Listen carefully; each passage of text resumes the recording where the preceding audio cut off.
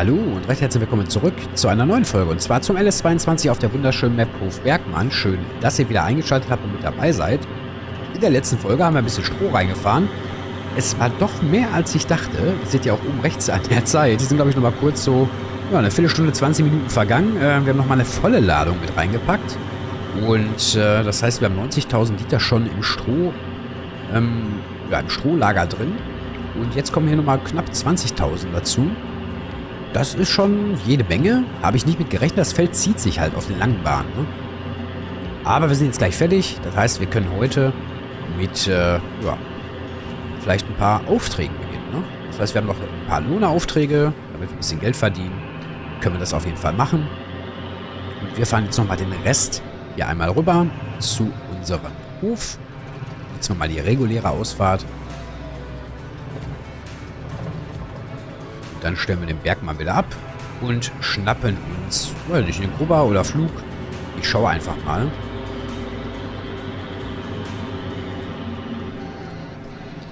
Und dann werden wir uns eine der Aufträge annehmen. Ja, ansonsten am nächsten Tag, wie gesagt, durchwachsene Silphi an äh, aussehen. Erste Raps und so weiter können wir auch bald aussehen. Und äh, Weizen, sorry, Weizen können wir aussehen. Raps machen wir eher nicht mehr. Hatten wir ja gesagt. Weil wir so ein bisschen auf die Maximierung gehen wollen. Wir wollen auch ein bisschen äh, Mehl noch produzieren und, und, und. Also da müssen wir dann auch nochmal schauen. Ne? So, da fahren wir mal rückwärts ran hier. Und laden das restliche Stroh ab. Das heißt, es waren insgesamt ja 109.000 Liter. Ne? Bin ich schon wieder weggefahren aus dem Träger? Wahrscheinlich.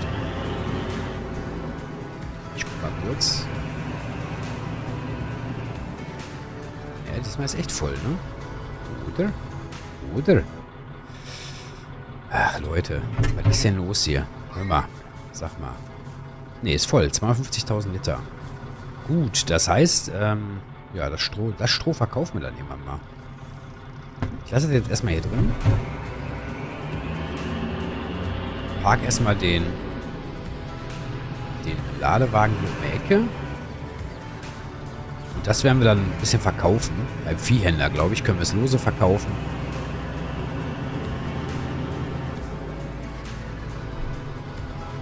So. Zack. Und dann schnappen wir uns einfach mal unseren Flug. Oder unseren gepimpten Flug. Der müsste, glaube ich, hier vorne irgendwo stehen. Ich guck mal gerade. Wo haben wir den denn hingestellt? Ach, drüben. Auf der anderen Seite. Und da machen wir heute einen Lohnauftrag, ne? Mal wieder. Wir haben schon lange, glaube ich, gar keinen mehr gemacht. Weiß gar nicht, was ich den letzten hier gemacht habe, weil wir eigentlich immer so viel zu tun haben hier auf der Map. Schnell nochmal drüber hier. Pferde müssen wir uns auch nochmal drum kümmern. So, wo ist er denn? Wo habe ich den denn hingestellt? Hä? Wo habe ich denn meinen Flug hingestellt? Wieder gut weggepackt, ne? Ich glaube, das kennt ihr, ne? Äh, man kann sich die Fahrzeuge auch anzeigen lassen über das äh, Menü. Wurde mir letztens im Stream gesagt, das wusste ich gar nicht. Und zwar kann man hier drauf gehen und äh, kann dann hier hinklicken und dann auf der Karte Anzeigen auswählen. Und äh, guck mal, da vorne ist der Kegel und da ist das Gerät, ne? Das holen wir jetzt mal fix ab. Ach, da in der Ecke haben wir ihn gestellt. Ach so. Ah, guck mal, da ist er. Seht ihr, da könnt ihr das Hotspot, ne? Wusste ich auch nicht. Das soll doch schon seit dem 17er gehen. Ich wusste nicht. Echt nicht. So, wenn wir da drin sind, dann verschwindet der Trigger, ne? Und so findet man einfach äh, die Geräte. Hand aufs Herz, Leute. Schreibt mal in die Kommentare rein, ob ihr das wusstet mit der Markierung jetzt hier. Jetzt werden natürlich wieder alle schreiben, ja klar, ja, du spielst schon so lange LS, du weißt das nicht. Ne, wie immer. ist ja meistens so, ne? So, Feld 22. Wo ist denn das? Das ist da oben. Guck mal. Dann ähm, fahren wir mal am Hof raus und das ist oben bei der Wollgeschichte, bei einem Wein Weinreben. So, da fahren wir jetzt mal hin. Und dann machen wir heute hier Lohnearbeiten. Wir haben noch ein Feld zu grubbern, das müssen wir auch noch machen. Hier müssen wir noch die Brücke irgendwann bauen. Das dauert halt noch ein bisschen, weil wir da noch Holz brauchen.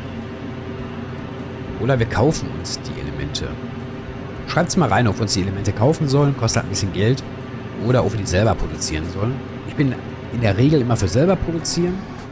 Aber ich wüsste jetzt auch nicht, wie wir das, am, wie wir das jetzt äh, auf kurzer Basis erstmal machen. Weil wir haben erstens äh, kein Fichtenmoped. Das wäre jetzt kein Thema, könnten wir uns kaufen. Wir haben nicht die passenden Bäume. Und wir verfügen nicht über ausreichend Kapital für ein äh, Gebiet, was wir uns kaufen können. Ne? Also da bin ich eher ein bisschen... Weiß ich nicht. Mal gucken. Wir schauen mal. So, da sind wir angekommen.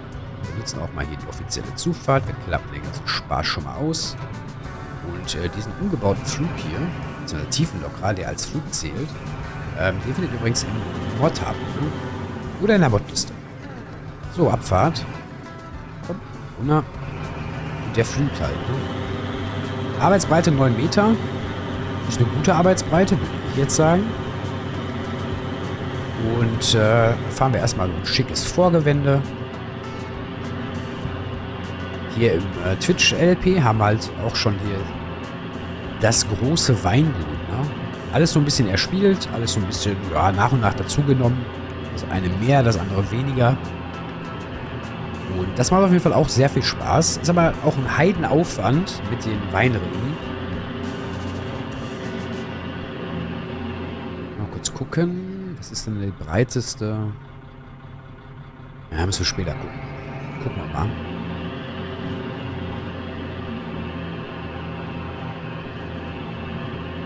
Das heißt, hier haben wir so schön die Weinreben. Und ich habe gerade geguckt, äh, was die breiteste Seite vom Feld ist. Aber ich glaube, ich werde dann zwischendrin mal einsetzen. Da sehen wir auch das neue Sägewerk, ne, was mit der Produktion verbaut wurde. Der Auftrag bringt hier gute 10.000 Euro. Ne? Ist echt nicht schlecht.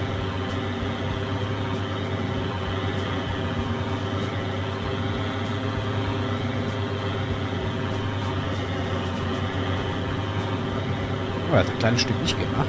Okay. So, 10% haben wir schon fertig. Ich glaube 20%, wenn wir einmal rum sind. Das ist, glaube ich, standardmäßig bei jedem Feld so. Aber da hat der Fan schon ordentlich zu kämpfen, ne?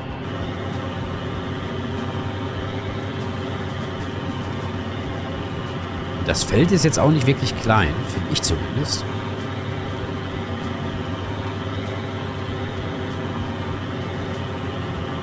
Bisschen verwinkelt. Und das andere Feld mit dem Urban, ich glaube, das überlege ich mir noch, ob wir das machen. Wären zwar auch 10.000 Euronen, aber ich glaube, wir haben nur die kleine, kleinen Gruber oder die kleine Egge. Ich glaube, da würden wir auch wieder ewig und drei Tage brauchen. Weiß ich noch nicht. Und hier auch total verwinkelt, das Feld. Ne? Aber ich mag das, wenn die Felder nicht alle so viereckig, quadratisch äh, quasi sind. Ich finde das persönlich natürlicher. Klar, für Helfer, wenn ihr CP viel nutzt, AD und so weiter, ähm, sind viereckige Felder, wie zum Beispiel auf der Marsch oder so, auf jeden Fall schon mal sehr gut geeignet.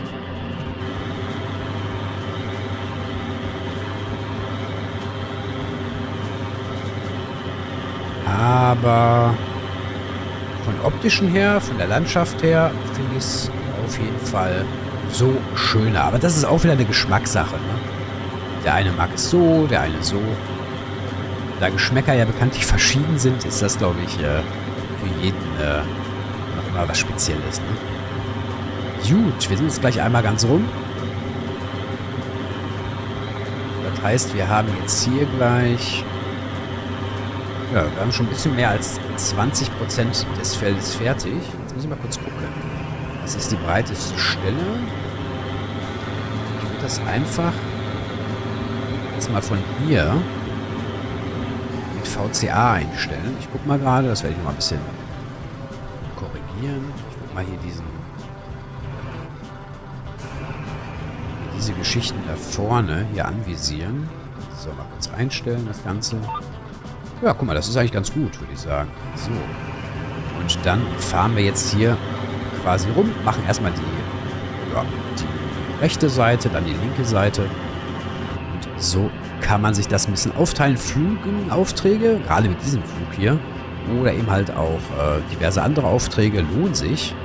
Ähm, definitiv. So, das ist der Flügenauftrag. Ich glaube, den grober Auftrag, das ist auch ein Riesenfeld, ne? Den brechen wir mal ab. Den machen wir nämlich nicht. So. Dann brechen wir den ab. Dann haben wir den jetzt hier noch. Wir haben auch Ernteaufträge, aber Ernteaufträge im LS 22 lohnt sich gar nicht mehr. Ähm, das ist mein persönliches Empfinden. Und das finde ich jetzt auch eher, naja, nicht so dolle. Aber was willst du machen, ne? So, wir fahren jetzt hier rechts und dann machen wir erstmal die rechte Seite fertig, dann die linke. Und am Ende des Tages muss man natürlich auch die Spritkosten hier mal mit einberechnen. Wir werden das nicht zu 100% machen, das Feld, weil das ist ein Auftrag. Man muss nur dementsprechend äh, bis 100% die Anzeige anzeigt, die Felder bearbeiten. Und dann kann man die auch schon abschließen. 10.000 Euro, klar, man muss die Spritkosten noch mit reinrechnen, die Abnutzungskosten der Geräte. Ähm, nach Adam Riese, wenn man da alles mit reinbezieht, denke ich mal, bleiben so, ja, so 9.000 äh, Euro übrig. Wir haben uns jetzt keine Fahrzeuge gemietet, deswegen ist da auch keine, kein Abzug von irgendwelchen Dingen. Und äh, ja, hier sind wir auf jeden Fall mit der Kombination schon mal ganz gut dabei. Das Wendemanöver hier, wir benutzen übrigens VCA gerade. Da könnt ihr mit Alt, links und A. Zack. Da macht er Wendemanöver zur linken Seite. Und zur rechten Seite wäre dann statt Alt, links A, D. Die Spur wechseln könnt ihr auch mit Steuerung äh, A und Steuerung D. Da könnt ihr dann halt die Bahn wechseln, in der ihr gerade fahrt. Ich finde das ein cooles Feature. Äh, man kann natürlich hier auch viele Sachen im VCA noch mehr einstellen. Ne? Das heißt, äh, man kann natürlich äh, ja, einmal GPS nutzen, wenn man es will, wenn man es nutzen möchte. Oder man kann eben halt auch... Huch, weiter geht's. Oder man kann eben halt auch äh, ihr Differential noch dazu schalten. Ne? Motormodifikation, Traktionskontrolle an. Ne? Kannst du auch noch einstellen und, und, und. Kannst auch jede einzelne Achse, glaube ich, sogar einstellen äh, mit VCA.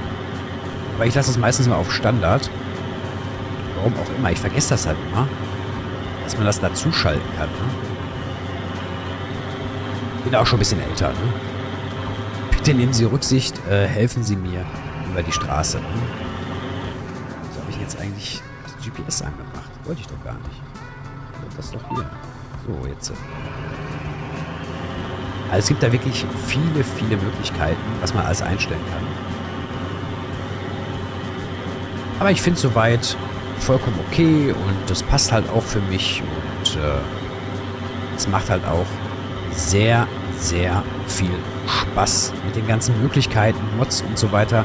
Ich glaube, der LS wäre auch nicht da, wo er heute wäre, wenn es nicht die ganzen Modder gibt oder gäbe, die diese schönen Mods alle erstellen.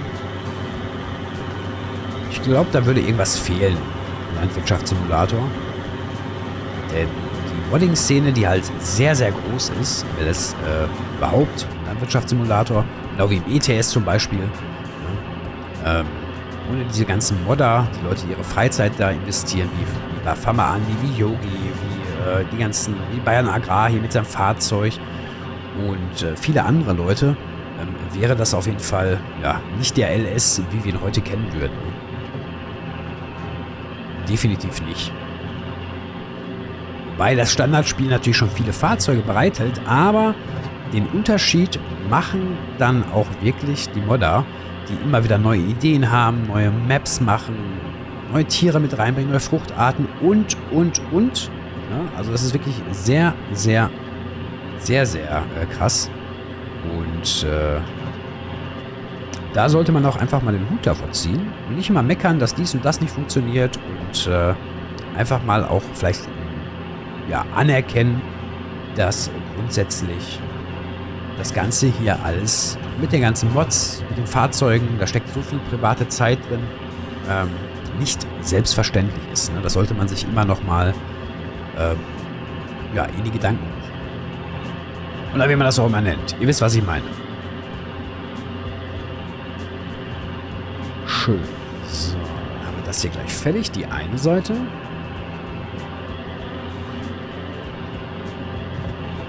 wir nochmal hier. Ich habe mir das übrigens aufs äh, Lenkrad gelegt. Finde ich eher auch praktischer. Bei den Aufträgen geht es halt nicht wirklich darum, das schön und gut zu machen, sondern einfach effektiv den ganzen Spaß hier zu nutzen, um dann jetzt hier die einzelnen äh, ja, Felder abzuarbeiten, das Geld zu kassieren und dann weiterzufahren. Ne? Darum geht es halt bei den Aufträgen.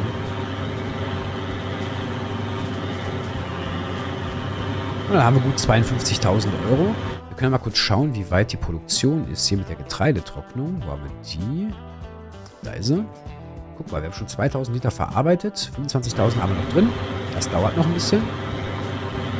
Aber vielleicht am nächsten Tag können wir dann ähm, ja, das getrocknete Getreide verkaufen. Da bekommen wir aktuell, was bekommen wir dafür? Getrocknetes Getreide. Haben wir es hier schon drin? Da. Ah, noch nicht so viel, ne? Höchstpreis aktuell 1387. Ja, gucken wir mal, ne? Viel dabei rumkommt. Ja, ja.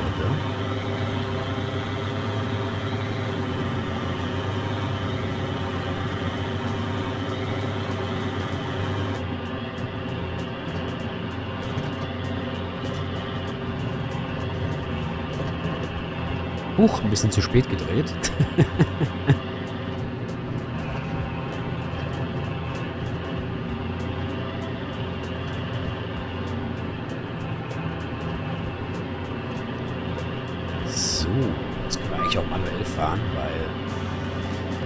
So fahren wir, glaube ich, ein bisschen besser. Guck mal, 70% haben wir schon. Das heißt, wir müssten gar nicht mehr so viel fahren.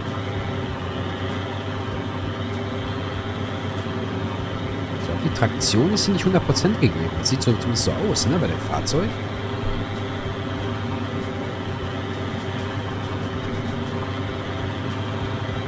So, dann nehmen wir gleich die lange Bahn auf der anderen Seite. Ich weiß, da hinten ist auch noch was, aber das brauchen wir nicht wirklich für die Aufträge.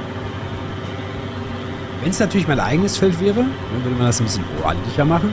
Und äh, wenn man im Realen als Lohner unterwegs ist, dann sowieso. Ne? Man möchte seine Kunden ja nicht vergraulen ne? und sagen, ja, guck mal hier, ich habe jetzt 100% erreicht, ne? der rechnet jetzt mit mir ab und dann höre ich einfach auf, so mit der Arbeit. Das macht man ja nicht. Ne?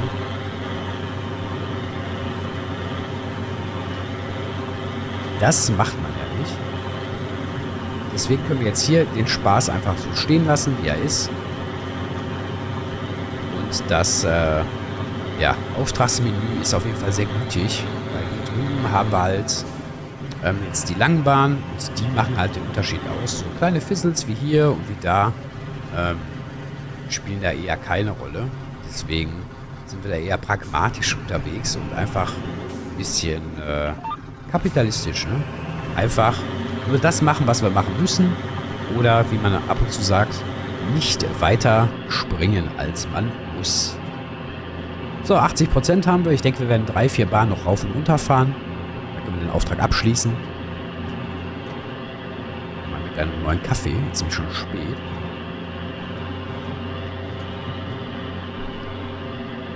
Beauty. Dann haben wir das, das, das. Dann werden wir aber auch den Tacho abschließen. Nach dieser Arbeit hier.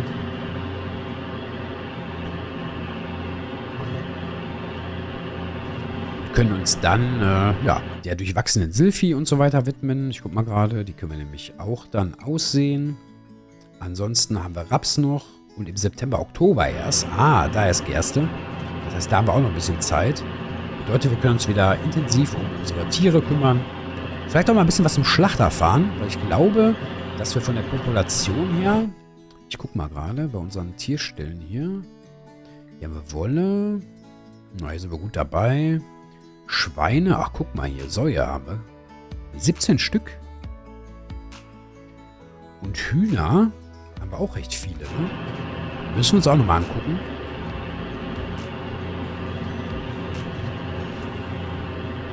So, 90 Prozent. Ich denke, wir fahren jetzt die Bahn noch komplett zu Ende und dann nochmal vielleicht halb rauf.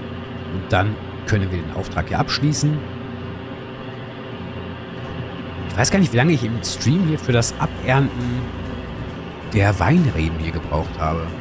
Das haben wir ja im Twitch-LP. Ist ein separater Spielstand. Es verwechselt der eine oder andere immer. Ähm, mit dem hier, mit dem wir jetzt hier unterwegs sind, der von YouTube. Aber ich glaube, es waren so vier Stunden oder so. Also da bist du wirklich gut zugange. Und hast reichlich zu tun. Ne? So, da ist der Auftrag. Äh, 95%. Sehr gut.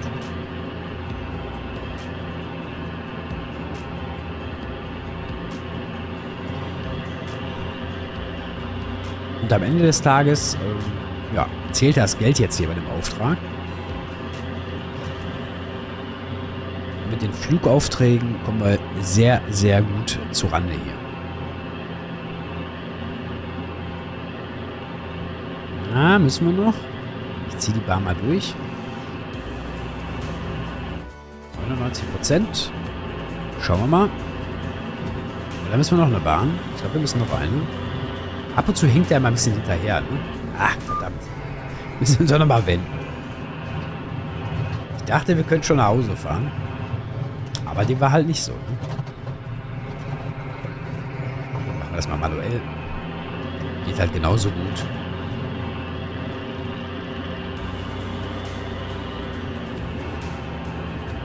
Wer natürlich das möchte, kann natürlich die Aufträge immer komplett machen. Ihr seht, guck mal, wir sind jetzt hier fertig ähm, mit unserem ja, Flugauftrag.